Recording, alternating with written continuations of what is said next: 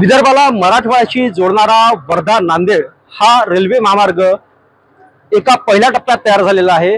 वर्धा ते कळंब असा हा पहिला टप्पा पूर्ण झाला आणि अठ्ठावीस फेब्रुवारी रोजी याचं ई लोकार्पण होते आहे. पंतप्रधान नरेंद्र मोदी यांच्या हस्ते यवतमाळ घेऊन हे ई लोकार्पण होते आणि या संदर्भात बोलण्यासाठी आपल्यासोबत खासदार रामदास तळस आहेत आणि आपण त्यांना विचारूया कशा पद्धतीनं याचा हा जो पहिला टप्पा आहे हा पूर्णत्वास गेला आणि लोकांच्या सेवेत तो येतोय? काय सांगाल नेमकं? वर्धा नांदेड हा जो मराठवाडा आणि विदर्भाला जोडणारा जो प्रकल्प आहे तो दोन हजार नऊ मध्ये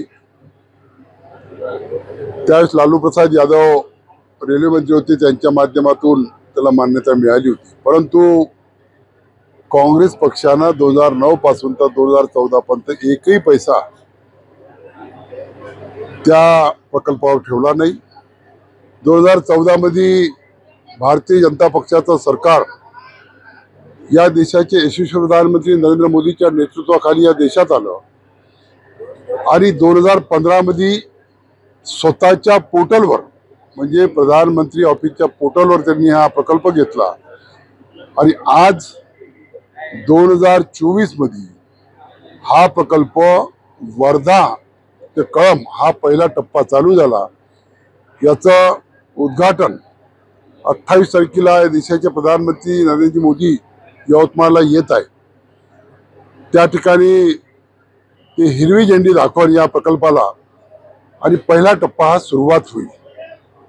त्याच प्रमाणात सोळा तारखेला या देशातले अकरा हजार जे अंडरपास म्हणतो जे रेल्वेला फक्त दरवाजे होते गाड्या थांबत होते अंडरपास केले. त्याचं त्याचं उद्घाटन सुद्धा सोळा तारखेला ही त्या त्याचं उद्घाटन सुद्धा सोळा तारखेला करणार आहे. स्वतः दिल्लीहून ते करणार आहे. मला असं वाटते की लवकरच याच वर्षात हा वर्धा नांदेड हा नांदेडपर्यंत ही ट्रेन जाईल. आणि एक जो पुष्कळ दिवसाची मागणी जी होती ते पूर्णत्वास येईल याचा जो पाठपुरावा आहे हा पाठपुरावा आपल्याकडून कसा करण्यात आला? पहिल्या टप्प्याच्या संदर्भात कशा पद्धतीने पाठपुरावा झाला? दोन हजार पंधरा मध्ये मी पहिल्यांदा पार्लमेंटमध्ये हा प्रश्न उपस्थित केला होता का? दोन हजार नऊ मध्ये या प्रकल्पाला भूमी अधिग्रहण केलं. एक तर हा प्रकल्प पूर्ण होत नाही त्यांच्या जमिनी वापस करत नाही. आणि त्यानंतर त्यावेळेचे आमचे रेल्वे मंत्री त्यांनी उत्तर दिले की हा लवकरच आम्ही प्रकल्प पूर्ण करू आणि दोन हजार पंधराला हा प्रकल्प सुरुवात झाला आणि आज दोन हजार चोवीसला पहिला टप्पा या ठिकाणी चालू होत आहे. वर्धा ते नांदेड या दरम्यान जे काही ट्रेन सुरू होईल या दरम्यान व्यापार उद्योगाला चालना मिळेल असं वाटतंय तुम्हाला? कशा हा लोकांच्या फायद्याचा ठरेल? विदर्भ आणि मराठवाडा या रेल्वे लाईनमुळं रेल्वेमुळं दोन्ही एकत्रित येईल.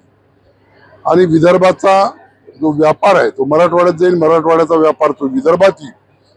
आणि नवीन युवकाला या व्यापाराच्या माध्यमातून सुविधा मिळेल. आपल्याला काही या लोकार्पण सोहळ्याच्या बाबतीमध्ये सूचना आलेल्या आहेत का? आणि वर्ध्याच्या जनतेसाठी काही ती व्यवस्था या लोकार्पण सोहळ्यात करण्यात येते आहे का?